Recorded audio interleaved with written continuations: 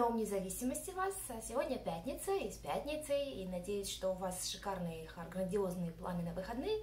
Ну, а сегодня э, я поговорю, о, вернее, отвечу на вопрос, который мне задали э, и попросили записать видео. Света, спасибо. Э, меня зовут Нара, я риэлтор, работаю в Северной Вирджинии, э, и за свои 16 лет набрала очень много опыта, стала сама инвестором, а, имею несколько а, а, квартир, кондо, таунхаусов, помогаю своей семье то же самое покупать и сдавать в аренду, поэтому сегодня я как бы от своего имени вам расскажу, как мы выбираем дома, которые мы потом сдаем в аренду. Я, как бы моя семья, люди, которым я уже помогла стать лендлордами – и дальше вы уже, если вы хотите стать инвесторами, вы немножко с этим знанием, вам будет немножко проще принимать решения. Ну вот смотрите, очень много есть ресурсов на интернете, или в интернете, как правильно. Очень много есть ресурсов, как посчитать, а, если недвижимость, которую вы покупаете, приносит вам деньги, прибыль, есть формулы, смотрите, считайте. Я вам расскажу то, что мы э, рассматриваем не с точки зрения э, обязательно прям денег, а все комплексно. И должна вам сказать, что довольно успешно мы уже как бы имеем э, наши дома, которые мы сдаем в аренду, никаких проблем со сдачей этих домов у нас не возникает, потому что изначально мы выбирали хорошие места. И вот сегодня я с вами поделюсь, какая, какая у нас, какой у нас был вообще ход мыслей, и как мы к этому всему подходим.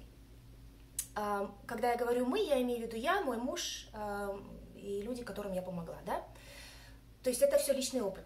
А, ну вот смотрите, когда, если вы хотите покупать investment property, инвестиционную недвижимость, ну, во-первых, конечно, вам нужно узнать вообще, что у вас происходит с ипотекой, да, вы, вы э, разруливаете это, давайте будем думать, что у вас все хорошо, вы получаете ипотеку, и ищите в, определенной, а, в определенном диапазоне цен а, недвижимость. Когда мы смотрим, мы, первый вопрос, который у нас возникает при рассматривании мест, где мы хотим покупать, где мы сами живем и насколько я хотела бы сама каждый раз ездить далеко и, и, и заниматься ремонтом или показом, когда мне надо найти новых э, тенантов. Или я хочу нанять property management компанию, которая всем этим будет заниматься, но при этом я буду платить каждый месяц от 8 до 10% моего ежемесячного дохода от аренды. Причем эта property management компания не будет э, оплачивать именно сам ремонт, они будут его организовывать, и если что-то нужно отремонтировать, вы будете оплачивать счета.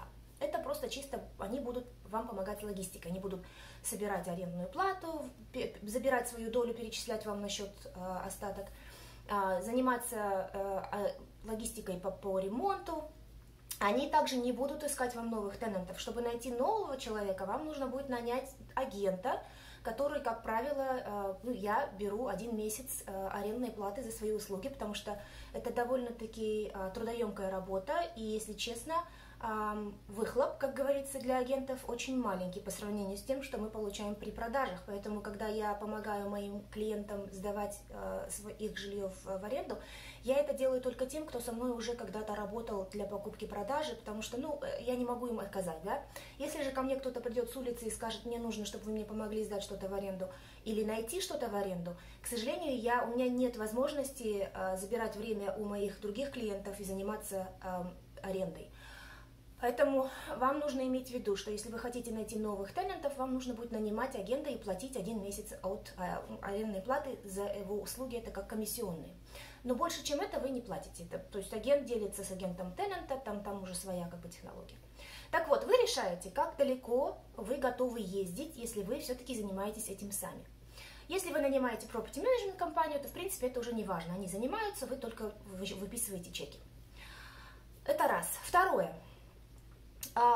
Когда смотрите э, потенциальную аудиенцию, да, кому вы будете сдавать в аренду свое жилье, а, Смотрите, я живу в районе военных баз. Я живу э, сейчас, вот мы недавно переехали из Лортона в Вудбридж, но недалеко от, то есть мы на самом севере Вудбриджа, но находимся прямо на реке, и мне, я нахожусь очень удобно от Quantica базы и от Quantica Marine Base, да, и от Fort Belvoir Army Base, да.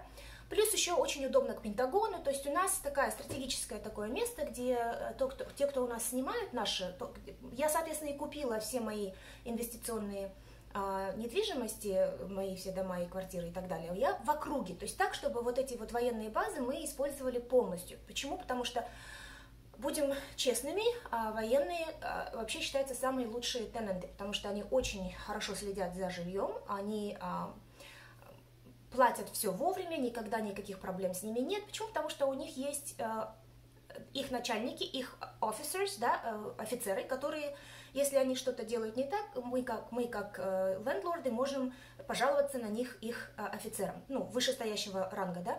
Но никогда этого не делала, но это есть. А вообще военные очень хорошо, они очень дисциплинированные, очень хорошо следят за вашим жильем. Поэтому я предпочитаю всегда сдавать а, вот именно вот таким вот а, тенантам. Но по закону имейте в виду, вы не имеете права отказывать людям а, только потому, что они там занимаются какой-то определенной профессией. Ни в коем случае вы не можете отказать человеку, если он определенной расы, если у него в семье сколько-то детей, если у него... А, то есть есть целая там, если они не той ориентации, которая вам нравится. То есть есть целая плеяда вещей, которые вы не имеете права использовать, чтобы отказать человеку. Вы можете отказать только если вас не устраивает кредитная история или вы не принимаете животных, а у них есть животные. То есть вот именно такие вот причины должны быть, которые вас потом не... Вы как лендлорд будете нести ответственность за отказ, за не по той причине, по которой... Потому что есть законы, и мы этим законам должны следовать. Вот, поэтому я как бы стараюсь всегда размещать рекламу так, чтобы у меня были а, тенанты военные. Но я вам должна сказать, что а, несмотря на это, у меня есть очень много моих тенантов а, медицинские работники, потому что, опять-таки, здесь находится несколько больших госпиталей, а, и тоже очень хорошие тенанты. То есть всегда все люди хорошо будут снимать и, и, и заботиться о вашем жилье, если у них замечательная кредитная история, хороший кредит скор, и обязательно проверяйте, разговаривайте с их предыдущими лендлордами, чтобы а, убедиться, что они хорошие тенанты. Но это уже мы идем в дебри, как искать нового тенанта, я, я вам потом, если хотите, видео запишу. Но, то есть имейте в виду, что, например, если вы хотите сдавать военным, значит, вы ищете там, где базам, то есть люди, которые приезжают в эти базы, они будут искать вокруг этих баз. Если вы живете где-то, скажем, в районе Ашборна, Лауден Каунти, там, военно, там баз нет, да, но тем не менее очень много а, людей, которые хотят сдавать в аренду свое жилье. Я вам должна сейчас сказать, что жилье, которое сейчас дается в аренду в Ашбурне, уходит вот так, потому что, и, потому что там очень много новых работ, а, рабочих мест создается, благодаря тому, что туда приходит очень много вот этих вот дата-центров, да, IT а, мест, и там очень много таких вот молодых ну, может, не очень молодых, да, программистов, айтишников, которые приезжают со всей страны, а то и даже из, из, извне стран, да. То есть уходят очень вот на ура а, дома, которые сдаются в аренду там, в Loudoun County, в районе Ашбурна. А, ну, опять-таки, первый, наверное, ваш, ваш критерий должен быть, где находитесь вы и как далеко вы готовы ездить, чтобы обслуживать эту недвижимость. Второй критерий – это как находится, а, как удобно расположить, то есть ваша потенциальная аудиенция, кто у вас будет снимать в аренду. Третье а хотите ли вы condo, чтобы платить condo fee, или таунхаус, или отдельно стоящий дом? Американцы все эм, предпочитают дома с огороженными садами, да, то есть backyards, чтобы практически у всех есть собаки, им всем хочется выходить на улицу и их как бы выгуливать, при этом не особо напрягаясь, поэтому они их просто выгоняют на backyard, и они там делают свои дела. Им хочется вот такие, как правило, меня люди спрашивают, а огорожен ли ваш backyard? И как, какой размер вашего вот этого backyard, сада, да, огорода, я не знаю, как оно по-русски называется. Поэтому смотрите, если это кондо, значит вы ограничены на э, тех тенантов, которые либо без детей, либо это просто одиночные, ну как бы одиночки, либо это просто молодая пара, если вы берете таунхаус, значит, вы уже немножко расширяете свою аудиенцию на, скажем, молодую семью, один-два ребенка, которые в конечном итоге будут расти из этого дома и уходить на отдельно стоящий дом. Если это отдельно стоящий дом, то вы, соответственно, уже э, понимаете, что ваши потенциальные тенанты – это уже семьи с э, несколькими детьми, с животными, э, ну и, соответственно, цена э, аренды будет тоже выше. Вот. Вы должны определиться с этим, насколько вы хотите заморачиваться с этим. И, ну и, конечно, школы. Если вы смотрите кондо, то там школы особо не влияют, потому что там, как правило, люди без детей, да. Если это таунхаус, single family house, значит, надо смотреть так, чтобы школы были хорошими, потому что люди, которые снимают в аренду, у которых очень хороший скор, которые готовы платить вам деньги, они, они будут требовать, они будут требовать чистоту, они будут требовать хорошее состояние внутри э, недвижимости, внутри дома, и они будут требовать хорошие школы. Они не будут искать там, где школы не очень, они не будут брать в аренду то, что э, заляпано, грязное не очищено, и они не будут брать в аренду там, где все сломано, и что подлежит ремонту или замене. То есть надо всегда понимать, что если у человека хорошая кредитная история, вы хотите получать вашу аренду вовремя и получить человека, который будет заботиться о вашем жилье, вы должны предоставить ему это жилье вот в отличном состоянии, чтобы он не мог ни к чему придраться. И, соответственно, вы как лендлорд должны, обязаны а, вести а, дела так, чтобы в, ваш, в вашем жилье было все а, на 100%, чтобы все работало, чтобы не было никакой, не дай бог, плесени, чтобы не было никаких а, протечек и так далее. Вот, ну, для этого у меня есть другой такой волшебный, а, волшебная палочка, которую я использую. А, хотите знать, звоните, скажу. Вот, ну, вот такие вот у нас, конечно, ну, как бы подход к выбору. Ну, и, и наверное, все-таки один еще момент я вам скажу, что мы всегда стараемся брать что-то поновее.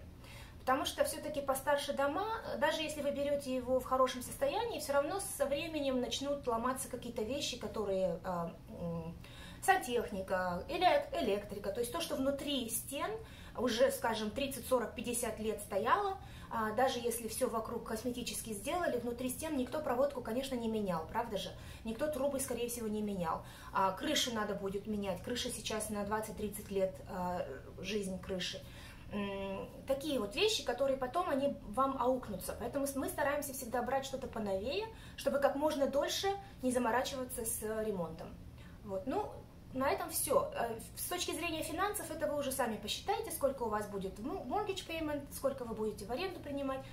Но имейте в виду, что все равно, даже если у вас идет немножко негативный cash flow, все равно аренда растет с каждым годом, вы можете увеличивать свою аренду с каждым годом, а ваш mortgage payment будет всегда оставаться такой же, потому что вы, скорее всего, возьмете на фиксированную ставку, чтобы не э, заморачиваться по поводу э, роста ваших издержек. Вот, ну, на этом все. Звоните с вопросами, с удовольствием с вами пообщаюсь, если есть какие-то вопросы, предложения. Если я что-то пропустила, оставьте в комментариях, что вы э, еще рассматриваете при э, принятии решения о том, где и что брать, для того, чтобы потом сдавать в аренду. Вот, ну, на этом все. До, до следующей пятницы. Если есть какие-то вопросы, пишите, задавайте. Я запишу видео а с ответом на ваши вопросы. Хороших выходных. Пока. Thank you.